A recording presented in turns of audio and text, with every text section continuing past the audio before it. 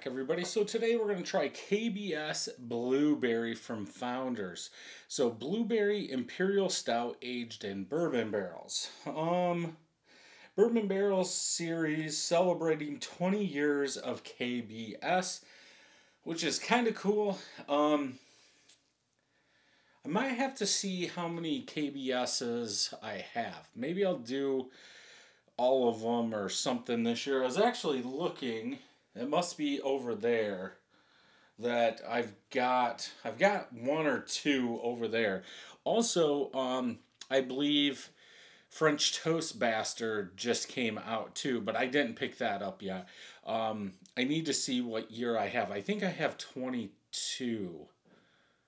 22 or 21, but uh, this one 11.2% ABV, bottled on 7 10 23. This is 9 16, 9 15, 23. Um, usually, no matter what, I'll pick up a four pack. Usually, I wait until they go on sale, uh, especially at Meijer's. I paid $4.29 for this one. Um, usually, I'll let them go on sale and they always have them. They make so much, and um, that's when I'll pick them up. Because uh, I think there was another one I was going to pick up that I saw on sale. But usually they'll have three to four dollars off a four pack of them, so that's when I'll pick them up. I do like blueberries. I'm not sure what this is going to taste like. Um, so, celebrating two decades with KBS in honor of the 20th anniversary, we've given Legendary Beer a dose of Michigan blueberries. Okay. Okay. I do like them. So, uh, layers of vanilla, coffee, chocolate, and oak, or chocolate, oak, and bourbon barrel notes. Hmm.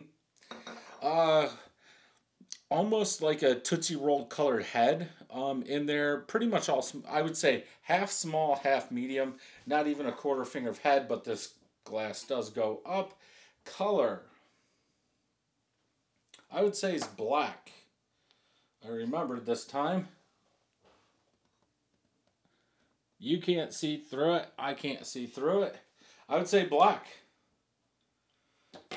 I think I just watched one of my other it was just recent and I thought I did it and it I didn't see it on there. But yeah, it's black. It's like it should be. Let's go ahead and smell. Um this has probably been sitting out about 40 minutes, 45 minutes. I've done uh, three other beer reviews. let's go ahead and smell. I get that fudgy chocolate in there, maybe a little bit of vanilla, vanilla fudgy chocolate.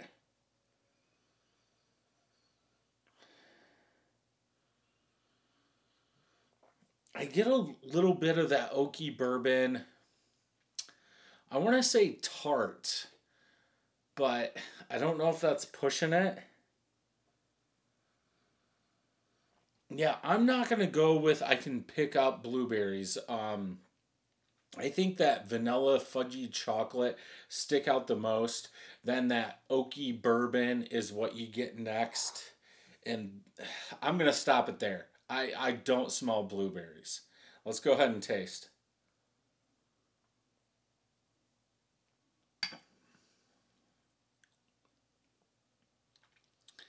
There's definitely a tartness. Um, I'm really trying to think here. We get chocolate covered blueberries. This is more chocolate. I'm trying to think what they taste like. I know it was a milk chocolate but I know you got a little bit of that blueberry, but it seems like that blueberry stayed around a little bit longer. This almost goes chocolate tart back to chocolate, fudgy chocolate.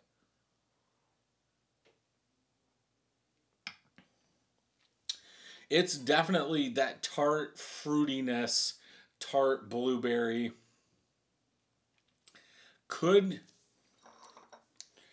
could you pick out blind that that's a blueberry?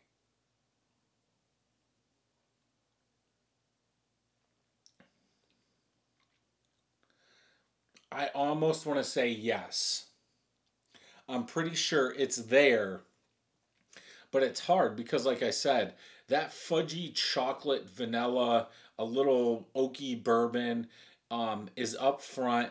You, that tartness kind of comes in. It stays, but that fudgy chocolate's there comes back. But it seems like the more my palate warms up to it, the more tartness is there. Like it sticks around.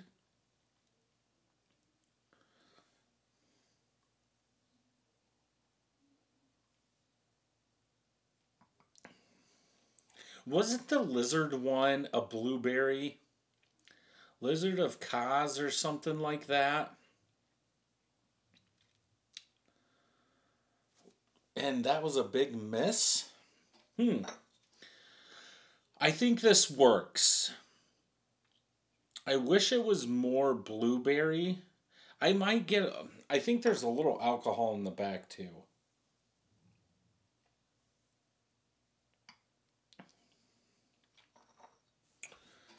Yeah, just a little bit in the back.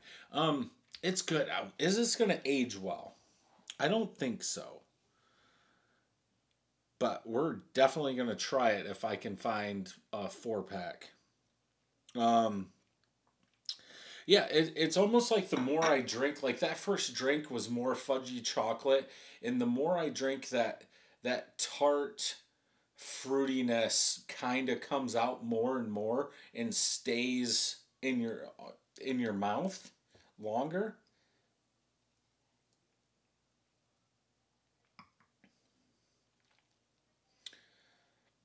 Um uh I'm going to go 4 out of 5. Um it's okay, but I almost want to say something's very sweet. Like it's coming off as like a cough syrup in there. Because I think I did read. I thought I read something was sweet. Yeah, it does say sweet. Um, I think it's a little too sweet with that blueberry. I, I don't want to say blueberry syrup, tart, tart fruit, um, with a hint of blueberry, and then that fudgy chocolate. I think it's a little too much. Like you could say, this is definitely a dessert stout.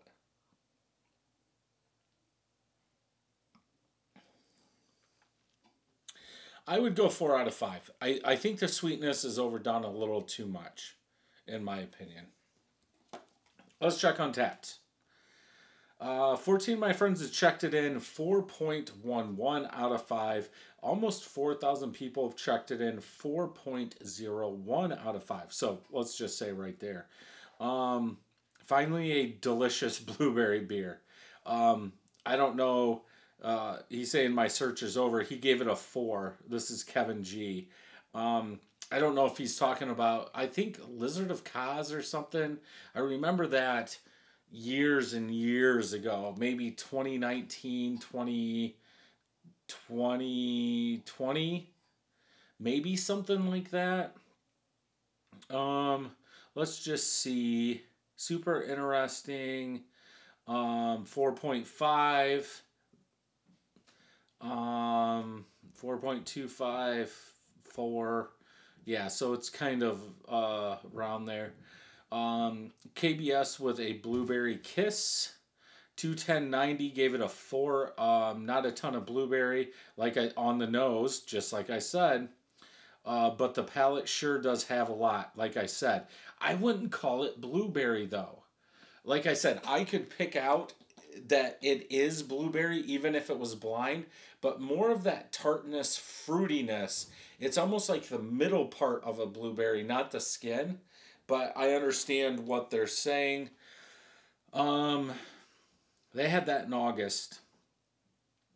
Um, but yeah, if you can find this, definitely one to pick up and try. If you enjoyed this review, check some more out over here. Don't forget to hit that subscribe button and ring that bell. And until next time, cheers.